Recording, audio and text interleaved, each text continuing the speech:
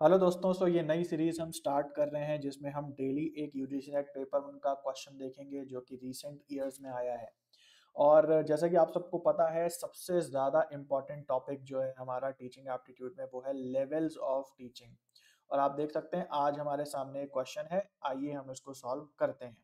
तो यहाँ क्वेश्चन में पूछ रहा है कि इनमें से कौन से जो फीचर्स लिखे हैं, वो रिफ्लेक्टिव लेवल ऑफ़ टीचिंग को प्रदर्शित करते हैं। चार पाँच पॉइंट्स दिए हैं मल्टीपल ऑप्शन वाला ये क्वेश्चन है। पहला पॉइंट दिया हुआ है कि students learn by understanding the facts and information यानी कि स्टूडेंट्स जो हैं, वो तथ्यों से और सूचनाओं को देख के, उन्हें समझ के पढ़ाई करते हैं। बी पॉइंट कह रहा है टीचिंग जो है, कुछ और नहीं है nothing but learning the subject by rote rote का मतलब होता है, रट के सब्जेक्ट को पढ़ना, यही टीचिंग का तात्पर्य है। सी पॉइंट कह रहा है development of problem solving ability, यानी कि प्रॉब्लम सॉल्विंग एबिलिटी जब डेवलप होती है किसी स्टूडेंट के अंदर तो वो रिफ्लेक्टिव लेवल ऑफ़ टीचिंग है। या डी पॉइंट कहता है, students original thinking and creativity abilities. यानी कि जो क्रिएटिविटी है स्टूडेंट के अंदर, जो उसकी थिंकिंग पावर है, ये actually reflective level of teaching होती है। और ई e पॉइंट कहता है प्यूपिल्स कभी कभी प्यूपिल्स भी कह सकते हो, स्टूडेंट भी कह सकते हो, सेम बात है। Pupils are kept in strict discipline and cramming is instructed uh, insisted. यानी कि बहुत स्ट्रिक्ट अनुशासन में रखा गया है शिष्यों को या स्टूडेंट्स को और क्रैमिंग क्रैमिंग का मतलब सेम होता है रोड लर्निंग इस पे बहुत ज़्यादा इंसिस्ट किया जा रहा है या ज़ोर दिया जा रहा है। तो अगर आपने मेरे से पढ़ा है तो इस प्रकार के क्वेश्चन आप बहुत आराम से कर लेंगे और पहले भी और अभी भी, इस बार भी आप देख सकते हो, जो मैंने आपको फॉर्मूला इनको सॉल्व करने का बताया है, सेम टू सेम वही काम कर रहा है। तो दोस्तों, आप सबको पता है भाई कि लेवल ऑफ़ टीचिंग तीन प्रकार का होता है। एक है हमारा मेमोरी लेवल, जो सबसे नीचे का होता है, उसके ऊपर होता है अंडरस्टैंडिंग लेवल और सबसे ऊपर होता है रिफ्लेक्टिव लेवल। और मैंने आप लोगों को बताया है बहुत शॉर्टकट तरीके से आप समझ सकते हो कि किसका आंसर क्या होगा। देखो मेमोरी लेवल की जो मेन बात होती है, मैंने आपको शब्द पहले ही दिए हैं रोट करना या क्रैम करना। कोई भी चीज़ जब आप रट के अपने दिमाग में डालते हैं तो वो मेमोरी लेविंग लेवल टीचिंग कहलाती है। अंडरस्टैंडिंग वाली टीचिंग में हमने बात करी है, क्या मेन पॉइंट होता है कि अपने शब्दों में, अपने शब्दों में बोल पाना या एग्जाम्पल्स दे पाना ये निशानी होती है अंडरस्टैंडिंग लेवल ऑफ़ टीचिंग की। और तीसरी चीज़ की हमने बात की थी कि रिफ्लेक्टिव लेवल की क्या कीवर्ड्स होते हैं, क्या निशानियाँ होती हैं।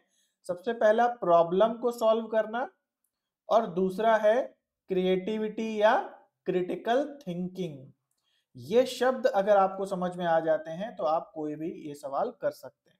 और सही आंसर तो आप निकाल ही लेंगे, लेकिन जो बाकी के सारे पॉइंट्स लिखे हैं, इनके भी आंसर आप सही से बता देंगे। तो चलिए, ये आपको समझ में आ गया। आइए अब देखते हैं वन बाय वन तो ए पॉइंट है यहाँ पे students learn by understanding the facts and information यहाँ पे अंडरस्टैंडिंग शब्द आ गया, यानी कि रिफ्लेक्टिव लेवल नहीं अंडरस्टैंडिंग लेवल का स्टेटमेंट है।